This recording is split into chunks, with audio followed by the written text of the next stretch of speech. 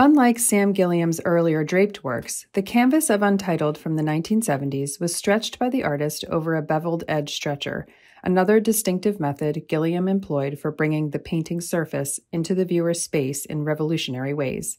The ethereal, almost organic gatherings of color and texture illuminate the beauty chance played in the composition.